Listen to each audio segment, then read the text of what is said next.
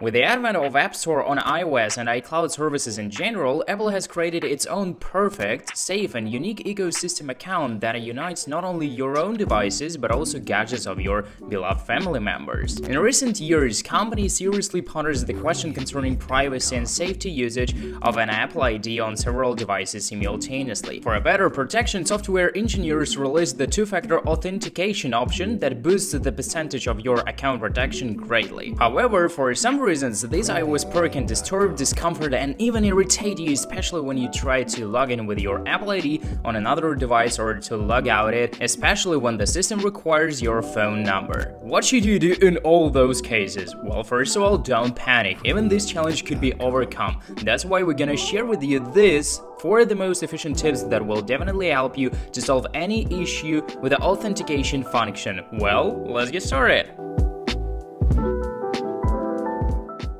The first tip is the most simple one. To fix Apple ID sign-in process via two-factor authentication, log in with your Apple ID and password on iCloud.com. When the Apple ID sign-in requests you to enter the verification code, click on Didn't get a verification code option. If you have already registered a backup phone number as a trusted one, click on Use phone number and then choose the backup number to receive the verification code. However, if you don't have a registered backup number, you will need to tap on More options at step 3 to add a new phone number for a verification. For the second tip, the default Find My utility is needed. On your friends or family's phone, open the app and under the section Me, tap on Help a Friend option. When the sign-in page pops up, don't make a login into your friends or family's account. Proceed with the use a different Apple ID variant. Then tap on a Forgot Apple ID or password when you see the iCloud Find My phone sign-in page. Follow the steps and prompts shown on the screen to recover your Apple ID and password.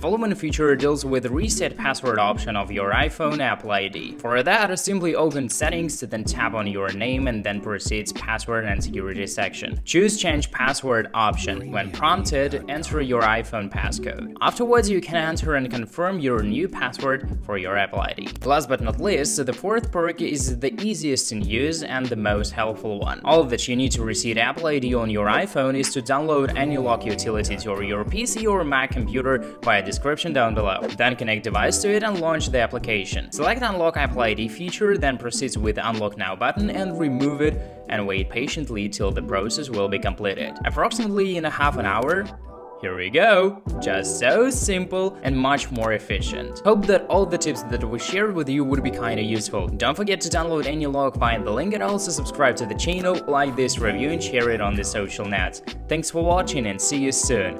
Peace.